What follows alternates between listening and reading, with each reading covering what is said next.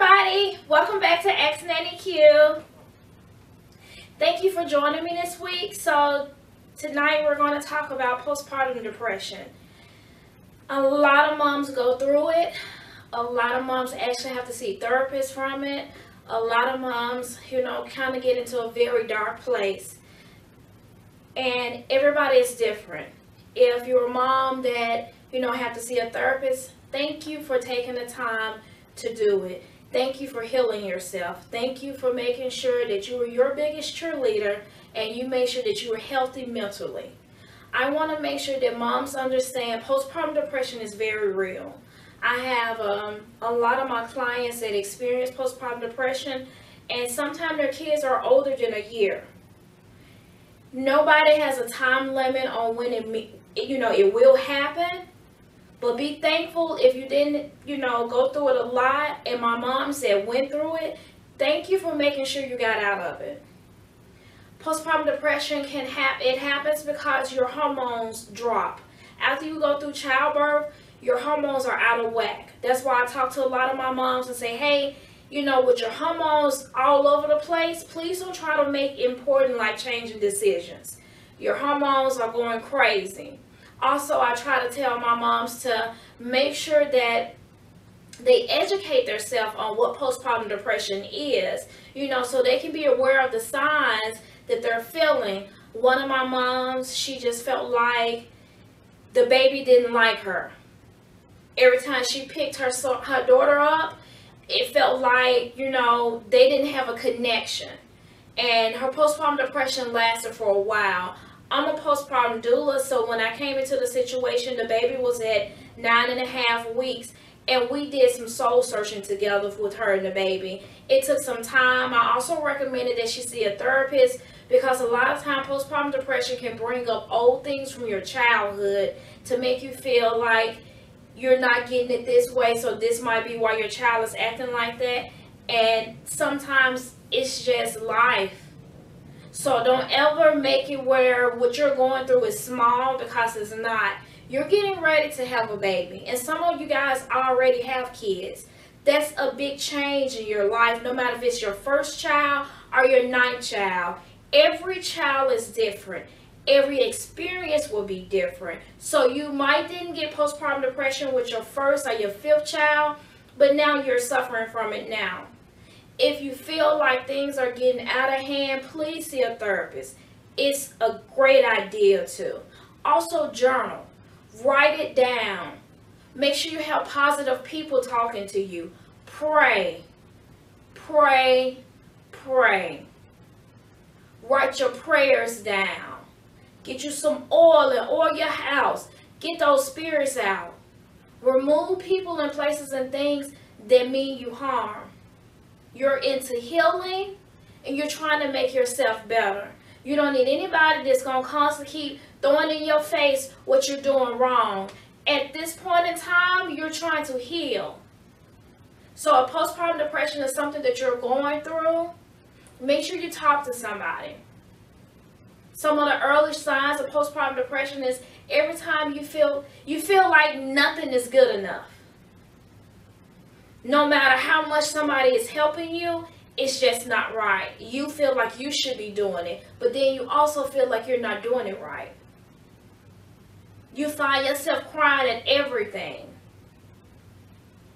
You find yourself getting depressed. If any of these things are going on with you, mom or dad, because dads go through postpartum depression, if you feel like any of this is going on with you guys, make sure you see a therapist. See one separate, see one together. The only difference with men when they have depression is because they feel like they don't know what to do as a father. And they don't want anybody to know that they're depressed because they feel like they should know. And it's okay to ask questions. It's okay if you don't know dad. It's okay. You can ask questions. And a lot of you guys, you know, you don't want to ask questions because you had an amazing father, so you should know what it means to be a father. There's a 30 year difference sometimes between you and your dad. What you did, what your dad did with you might not work with your child. Ask questions. Go online. Google some stuff. You can even ask Nanny Q. But seriously, get help. If mom feels like she's just not doing it, or mom, if you just you can't put your finger on it, but something doesn't feel right, talk with somebody. Please. Don't make it feel don't make yourself feel uncomfortable to make others feel comfortable around your child. No. Also, mom, make sure that you have your birth plan. Know who you want to be in the delivery room because when postpartum depression actually does kick in, you know, that person might still be around. It might be family from out of town. If you feel uncomfortable or any kind of way, make sure somebody hears your voice. Make sure to talk to your husband. Make sure to talk to whoever.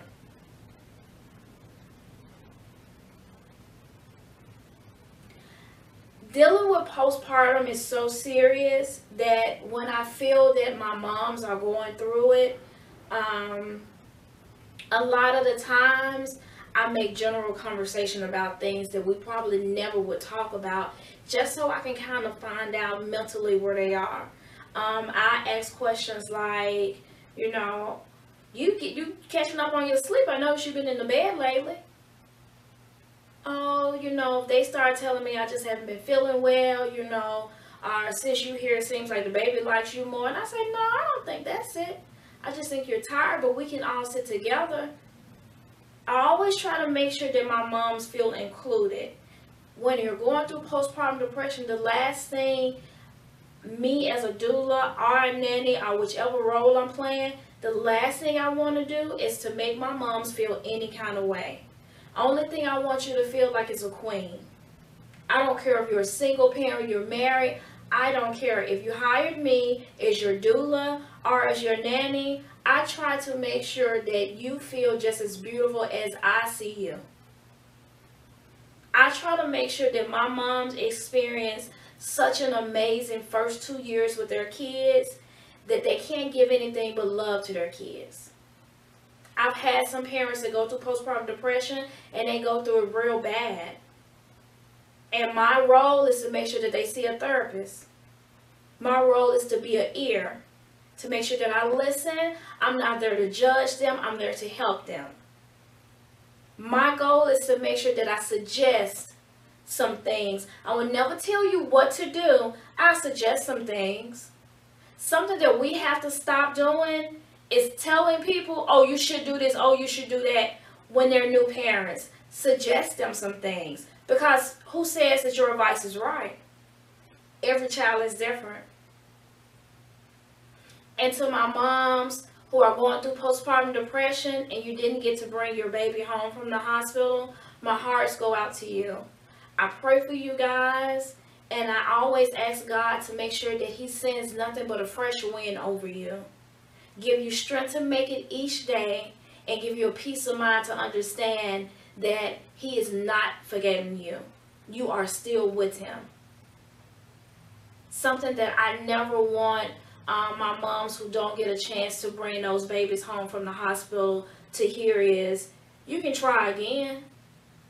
Oh, you know, things happen. God, God, you know, I hate when people say God and things happen. That's not for you to say. Give them positive energy. Don't tell them, oh, you young, you can try again. Because they might been their ninth, tenth time trying. So let's make sure that when we're talking to our moms who, you know, have lost their babies, let's make sure we're more sensitive. You can try again, is what you don't want to hear. You know, you don't want to hear, oh, that baby been passed away a long time ago. Why you still mourning? Because she can. You don't want to hear, oh, why you celebrating Mother's Day? You didn't have your baby. No. How you feel about something that they're doing means nothing. So send them love. Tell them Happy Mother's Day. I have a few moms who that has happened to I tell them Happy Mother's Day because they still birthed a child. Their child just turned into an angel. And I still make sure I, you know what, Happy Mother's Day, beautiful. I have a very good friend where she's lost five babies. And I told her, you got a football field of angels. God felt that you were that special that you got that many angels. Because what I might say, I don't want to hurt her. And it's not my job to hurt her. My job is to make sure that I uplift her. My job is if she says she's having a bad day, let's go do something. I can't change the situation. I'm not a doctor. I'm not God.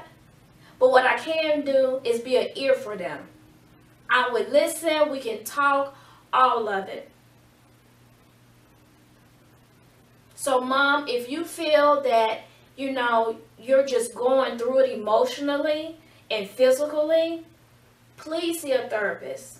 I'll drop a link at the bottom for um, therapists for black women. If you need a postpartum doula, make sure to send me an email.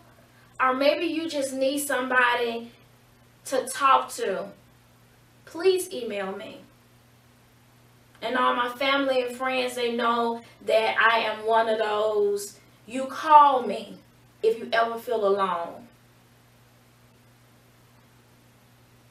I might not have an hour, but I can give you a good 15 minutes just so you can know that somebody is listening and not judging. And you can guarantee that I'm going to make you laugh. Now, thank you guys for, you know, watching Ask Nanny Q. Thank you for all your questions. Thank you for everything. I always leave all the links to the t-shirt line, our Amazon store, our Instagram, and our websites in the comments. Thank you guys. Have an amazing evening. God bless you.